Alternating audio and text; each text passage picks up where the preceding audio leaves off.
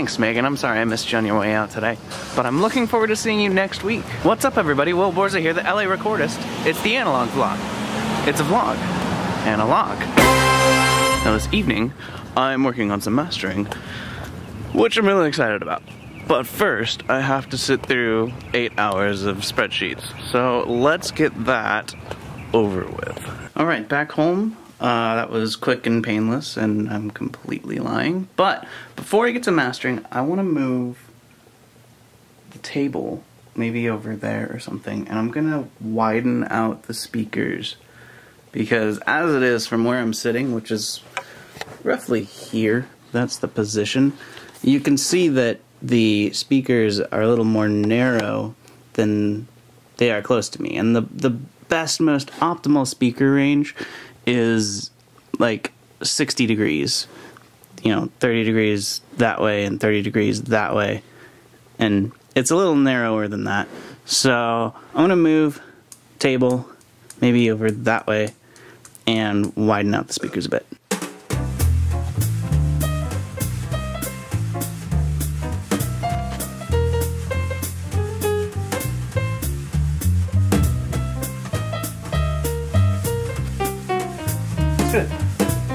Like it. No, even better, did a little switcheroo, put them sideways. That makes it extra wide. Now it's really important whenever you do a switch like this to spend some time listening because you have essentially changed the shape of your stereo field and you need to familiarize yourself with what popular music sounds like, music that you've listened to a million times, what that sounds like on the new setup. Otherwise, you're not going to know how wide is too wide in your mixes.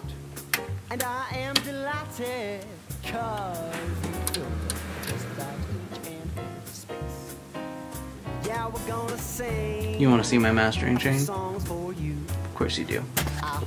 Come here. Alright, this up here this is the original unmastered file. First plug-in. We have a FabFilter Pro Q. I set it up in mid-side mode. I knocked the sides out of the bass. I bumped up a little here. I got rid of some sibilance and weird tinny stuff.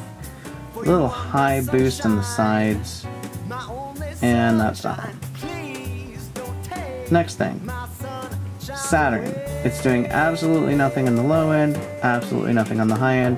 It's just beefing up the bass and adding a little bit of saturation down there. Next plugin, a de-esser. This guy is limiting everything above 7k. Just by like 2 decibels. This guy, honestly, okay, so I have this top one working. It's doing about a decibel of peak compression. The bottom one same thing, little bit of peak compression. This guy is just on. I like it because it adds some cool saturation in the mid range. Lastly, one more EQ. It's in linear phase, not maximum, but high latency. Um, we have a low mid boost and a counteractive cut right above it. Getting rid of a little bit more tinniness. I found that was a problem on this one. Lowered the high end, especially the hi-hat. Um, and I did that because I'm referencing random access memories.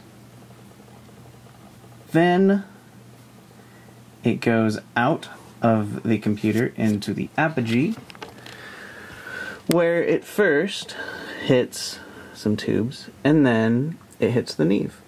And the Neve is doing fancy things. I think I had it on Blue Silk. This is the depth knob, and I'm bringing the whole mix forward, and then I'm pushing out the sides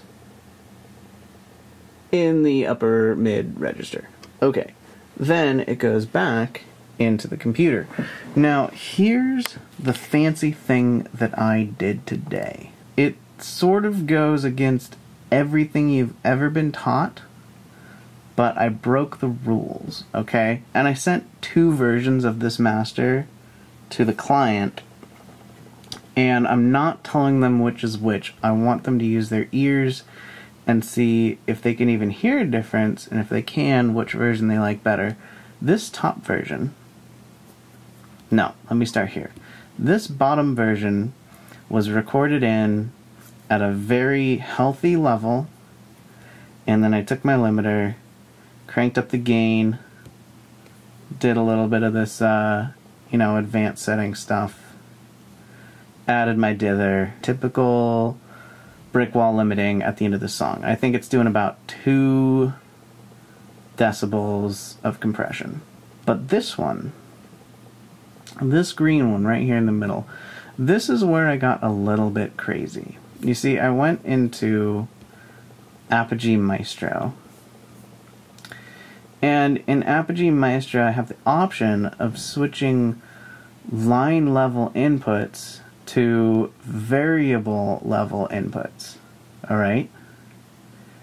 And I turned up the gain just slightly, 2 decibels if you want to be precise. And the 2 decibels that I shaved off the top in this digital version here, by just adding a bunch of gain, I actually used the converters in the apogee down there to do a little bit of clipping.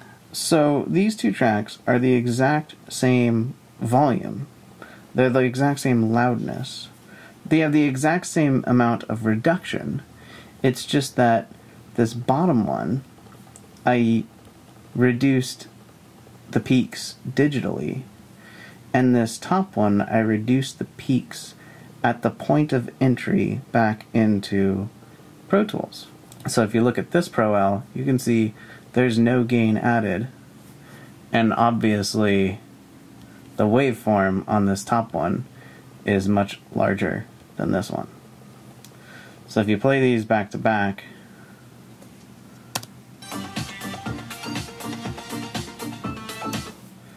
that is the same loudness as that. The difference is very subtle, but I can definitely, definitely hear a difference. And personally, I don't know if it's just because it's new or because it's a fancy technique that I just learned, but I think I really, really like the clip gained version. It's a technique that mastering engineers don't typically talk about. Uh, Mostly because it's just so taboo. You're never ever supposed to hit the red. You're never supposed to have the signal go above zero. But some of the loudest and most impactful mixes are mastered by taking the, the top two, three decibels, not much, just you know, the peaks, and and shooting them into the red.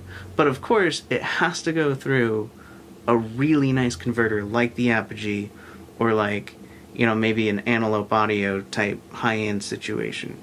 If you try to do this on a lesser interface, it's just going to sound bad. Something about expensive converters, something about mastering.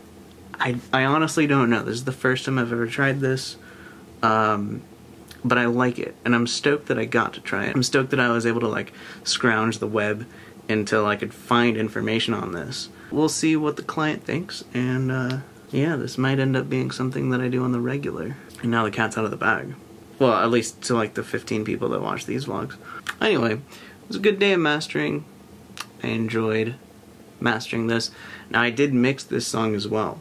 So, it was nice that I finished the mix like a month ago so that it sort of left my brain and I was able to approach it with new newish ears um, sometimes when you're trying to master something right after you finish the mix, it's a lot harder because your mix is is like, well, this is exactly how I want it to sound because I mixed it. But you get that little extra space in between, and you hear things that you forgot about, and you hear things that could really use improvement. So, mastering after a bit of time is a good thing.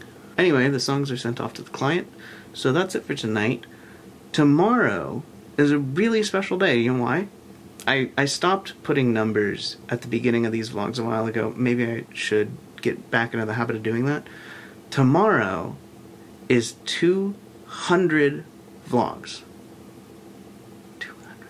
I've been doing this 200 days in a row, and I haven't missed a single episode yet. That's awesome. Really stoked. I don't think I don't have anything planned. Like I don't really know anything special to do for 200, but um, yeah, it's a milestone. I'm stoked about it. So yeah, see you guys tomorrow. Peace.